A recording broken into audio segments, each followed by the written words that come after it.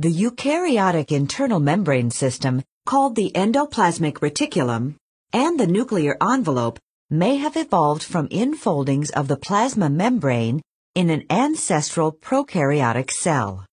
Such infoldings are common in modern prokaryotic cells.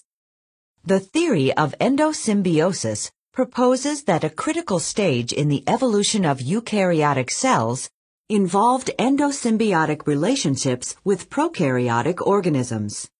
Microorganisms that live within other cells and perform specific functions for their host cells are called endosymbionts.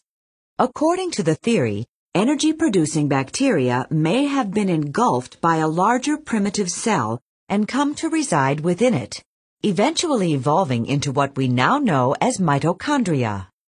Photosynthetic bacteria use photosynthetic pigments embedded in internal membranes to derive energy from sunlight.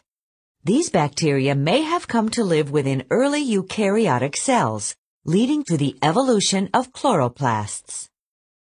Several facts provide evidence for the endosymbiotic hypothesis. A few examples include 1.